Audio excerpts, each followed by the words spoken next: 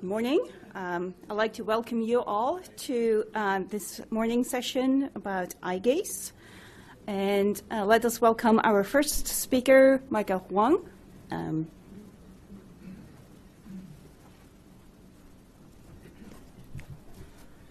Okay, uh, thank you.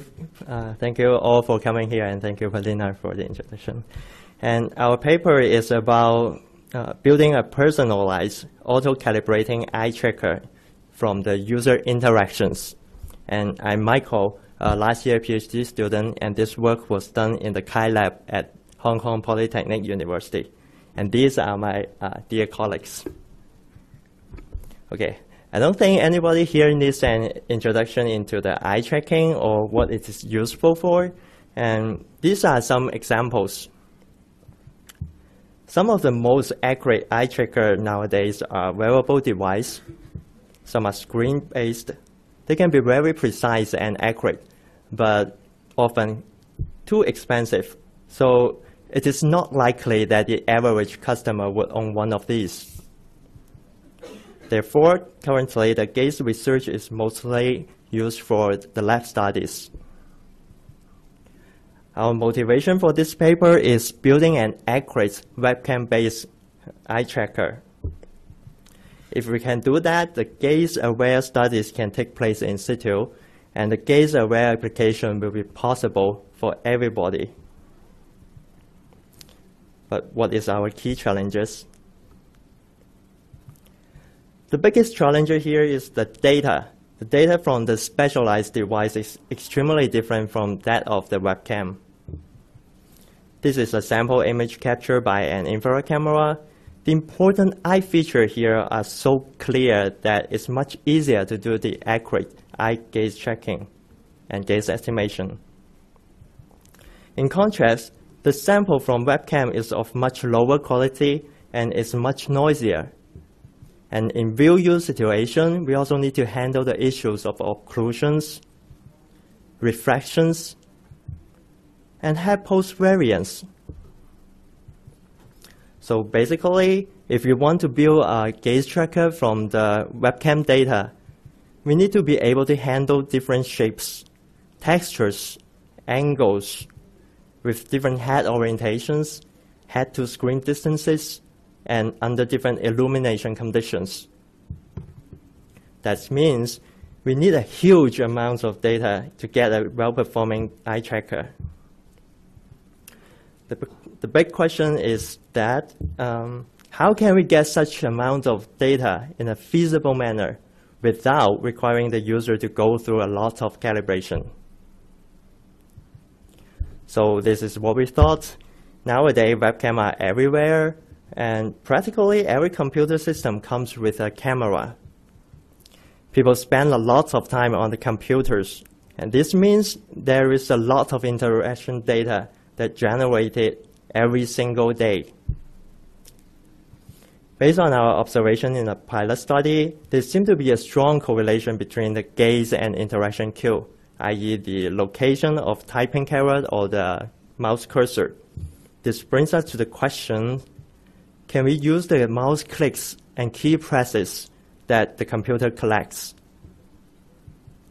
Previous work give, some, give us some comforting information.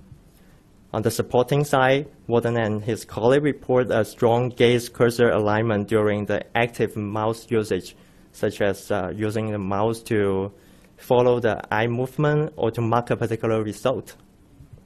Sugano and his colleague built an eye tracker using the mouse click based on the assumption that the user are looking at where they click. On the minus side, Huang and his colleagues report that yes, there is a certain correlation between gaze and cursor, but substantial variation also exists depending on the time spent on the page, personal browsing habit, and the current cursor behavior. Similarly, Liebling and his colleague report that gaze does lead the mouse, but the gaze-mouse coordination is very complex in the real-life scenarios. And this suggests that if you want to make use of the interaction data to build an eye tracker, we need to understand when the mouse and the gaze or the interaction and the gaze are actually aligned spatially and temporally. previous work shows and also common sense tell us there may be many factors that complicating the uh, assumption that the user are looking at where they click or type. The question is how? How do these factors affect the gaze interaction consistency? We ran an experiment to find out. We recruited 31 subjects. Their gaze position was recorded using an uh, Tobii eye tracker and their facial image by a webcam. And we asked them to perform some everyday interaction tasks, such as clicking on long links, short links, and photo links. Uh, yes, I intended to stay on this page for a little bit longer because, it's just killed. and we also asked them to highlight the text with mouse drags and type. What we want to find is the probability of the distance between the gaze interaction location, uh, which means, I mean, the distance between the gaze location and the interactional cue that is less, less than 60 pixels, which means they are uh, well aligned. So this is the moment of the interaction happens. The x-axis shows the time in seconds preceding the event. And we can see that the likelihood of the gaze interaction alignment peaks at different moments across different activities. This means that the user is not always looking at where they click or type. But this is only the overall probability mass function. Let's look into the distribution of all the instances. Again, x-axis shows the time preceding the interaction event. Y-axis shows the distance between the gaze and the interaction. The green line shows the median. The blue region shows the data from 25th to 75th percentile. And the gray region from 1st and 99th percentile. The red points indicate the outliers. You can see that the gaze interaction distance at the event moment can be very large, reaching 1,000 pixels here. And that is basically two-thirds of our screen width. So this result tells us that although the user are generally looking at where they click or type, there is much variation exists across individual events. But why does this happen? This simple cartoon may illustrate a possibility by the time that the user actually click on a target, their gaze may already have been lured by something else. And the, uh, the panic monster in this case. So if we are going to use the interaction cue for eye gaze learning, we need to identify the moment of the highest gaze interaction alignment. And to look for this alignment, the key is to identify the fixation and smooth pursuit which suggests that the user is focusing on some target just before the interaction happens. This is an example. The x-axis shows the time, the y-axis shows the eye position. As time goes on, we see there is a one fixation, one saccade to another location.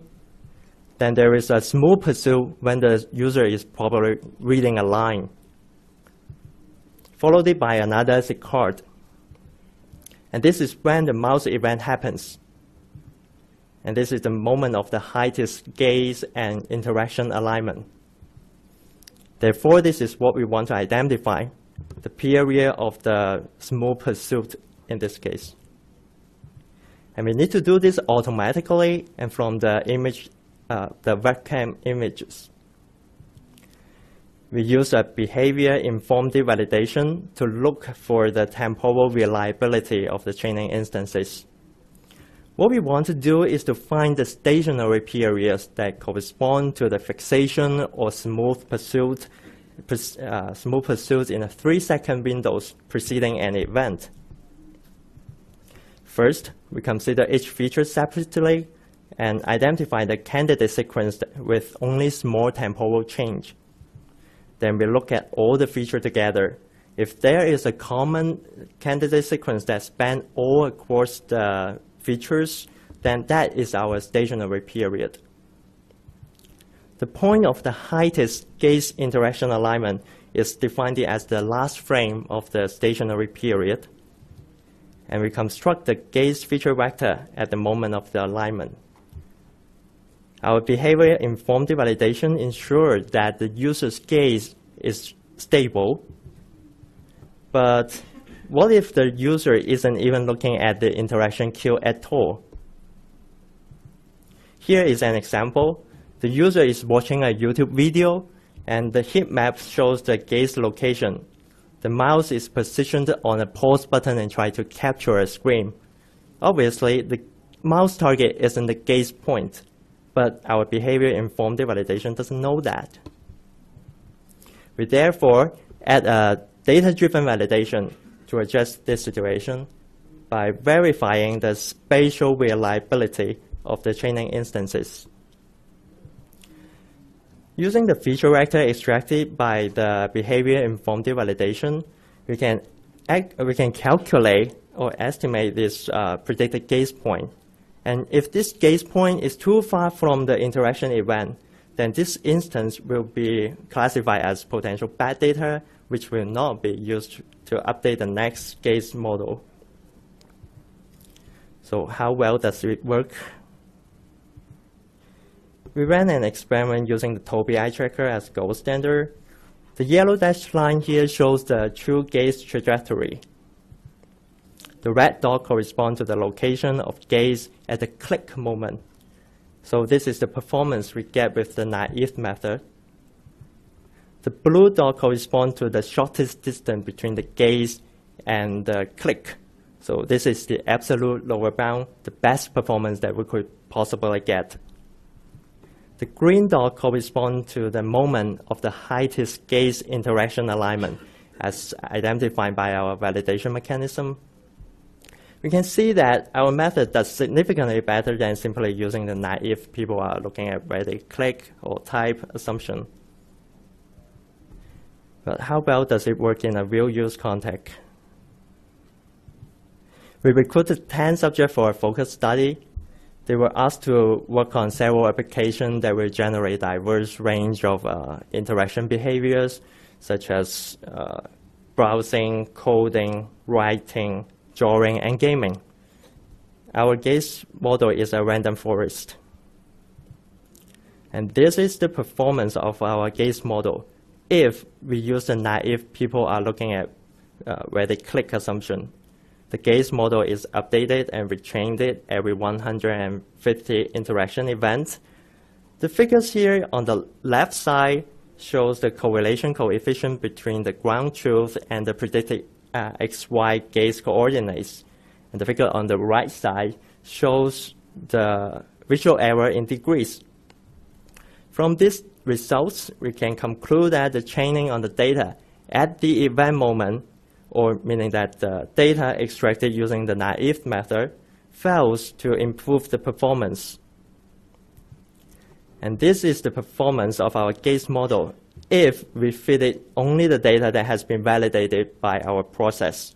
In other words, this gaze model is trained using the aligned moment. We can see that the correlation is a lot higher and the visual error is much lower. Even better, we can see that the correlation goes up and the visual error decreases over time, meaning that as we get more data, the better the model is. Our result is competitive with those of the best performance system, but unlike theirs, our method is completely non-intrusive to the user. So for future works, we plan to take into account of the impacts of human effect we also plan to investigate a method to accelerate the gaze learning process, as this is, this is currently uh, our major limitation. In summary, we conduct a user's behavior study to investigate the gaze interaction consistency across different interactions. And we propose a non-intrusive, adaptive, interaction-informed method that to identify the gaze interaction alignment from the daily human-computer interactions.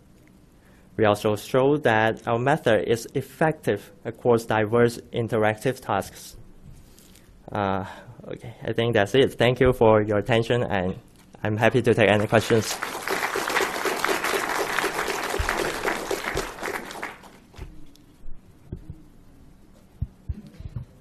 Um, Melody Vidal from Pharmic Labs. Thank you very much for uh, the presentation. I particularly enjoyed the copious amounts of cats. yeah, me too. Um, I'm just wondering if you have ideas of applications of what to do once you have the gaze of the user, because you're using, you know, mouse and keyboard. So, what do you plan on using uh, the calibrated gaze for? we want to um, we want to have a better understanding about the human behavior. So we try to investigate how uh, this channel to understand the eye gaze or maybe facial expression only using the off-the-shelf devices, such as uh, as you say the webcam and keyboard mouse. So we hope that our uh, our our program can be distributed uh, in a, on a very large scale, and then we can understand people uh, in, uh, interact with the computer in different tasks. So Okay, so for usability purposes and yeah, Okay. thank, you. you for your question. Shumin Zhai, Google. Uh, somewhat following the last question, um, I view this as one of the major uh, progresses in, in the uh, eye tracking industry. Um, I wonder, uh, from your experience, given what you have achieved, how close it is to apply such techniques to something like magic pointing for real? Yeah, thank you for your question. That is exactly what we uh, hope to do for the, the for the uh, next try because uh, the magic cube is also uh, very interesting and useful, especially when there is multiple uh, display. And our current limitation of applying this in a real user situation is the process that we build up this uh, user-dependent model because as our uh, data shows, it requires around like 1,050 data points to train a well-performing model. And this data point usually come from the interaction data. For example, the mouse click and key press. For key press, it would be okay because the key press comes a lot faster. But most of the time, uh, the reliability of key uh, of mouse click is better than key press. So to collect enough good data, it takes a long time, and that is our current biggest limitation compared to the commercial products. Because, for example, using the infrared camera, we probably just only need a few seconds to do the calibration. So can't you um, default your training to some uh, group previously trained data before you do the adaptation to individual? So you still have a good, reasonable, good start? Or that's fundamentally not what works in your view in terms of personalized training? We are very interested in how to make use of the existing data from different users. But currently, uh, this paper's focus is uh, only the user-dependent model, and we are actually working on something uh, based on that kind of idea to accelerate the process. And yeah, Thank you. Thank you. Very short question. Evgeny Abdulin, Texas State University. So, uh, actually, we have uh, we also have uh, Tobii IX in our laboratory, Okay. and uh, I'd like to ask, uh, uh, with your plot uh, of the distance of the visual angle between the target, that one of the last plot in the right top corner now, yeah. So it's uh, 2.5 uh, degrees in the end, but uh, Tobii IX has a accuracy something about one degree uh, and the precision uh, something about the half degree. How this uh, data will, would take will take into account in your research? You you mean uh, our met- the performance of our method compared to the Tobii? thing? How it, uh, you take into account the uh, error that can be induced by the equipment by Tobii X in I see. I see. Uh, you mean when we use Tobii as ground truth, the Yes. noise that introduced to our analysis? Yeah, uh, that is one of the um, concern that uh, we run this experiment. Thank you for uh, your question. We actually uh, have also concerned about that. So in uh, in the future study, we probably just uh, uh, spend more time in the evaluation part. We probably require uh, require the subject to gaze at the calibration point uh, using the mo- most traditional way to do that evaluation.